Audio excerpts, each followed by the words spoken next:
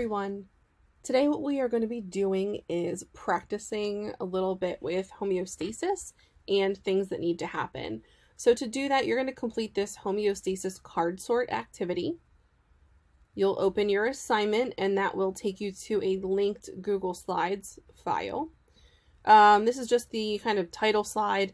So it tells you homeostasis card sort activity. Your procedure, what you're going to do is for each scenario, uh, there are six altogether. For each scenario, attempt to place the yellow cards in their respective positions in the model. Blue scenarios, which are one and two, so scenarios one and two, and I'll show you what I mean by blue in a minute, are real world examples, while the pink scenarios, and again, I'll show you what that means in a minute, um, scenarios three to six are physiology related. So they're related to what happens in your body. Um, if you look over here on this side of the slide, it tells you you will need to do either scenario one or two. So you're going to do one scenario from the real world examples. You can choose which one. And two out of scenarios three to six. So you're doing three out of the six total scenarios. So you only need to do half of what's here essentially. When you are done, before you submit, you need to delete all of the extra slides. That includes this first slide here.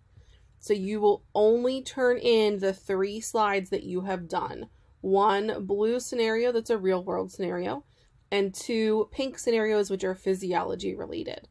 So as you go through, here we have scenario one, and scenario two, those are the what I'm calling the blue scenarios because the scenarios are written out in blue little post-its on here. Um, you are going to choose either scenario one or scenario two. Scenario one says the regulation of oven temperature at 375 degrees Fahrenheit. So the oven is set at 375 degrees Fahrenheit.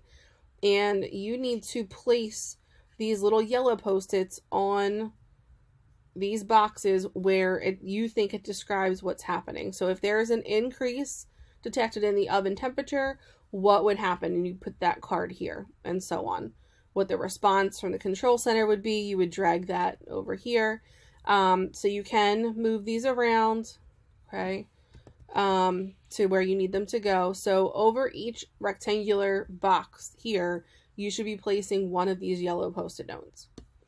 Scenario two is our other real world example, and that is the regulation of swimming pool chemicals. So again, you're only going to do scenario one with the oven or scenario two with the pool chemicals. Then you can go on to the physiology related scenarios. So scenario three is blood pressure regulation. Scenario four is blood glucose or blood sugar regulation. Scenario 5 is body temperature regulation, and scenario 6 is blood calcium levels. Now, some of these things you see over here, for example, calcitonin, that's a hormone, osteoclasts, those are bone cells. You don't necessarily need to know what all of these things are to be able to answer them. Um, you just need to figure out what would happen in what order to restore homeostasis.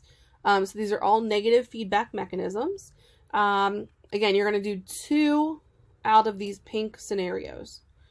So when you are turning your assignment in, it should only have three slides.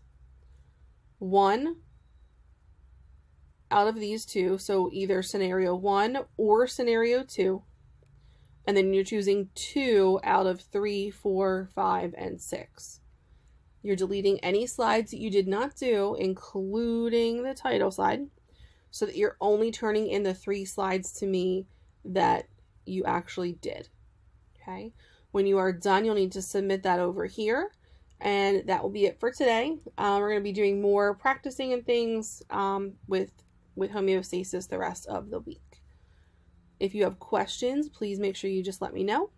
And I hope you have a great day.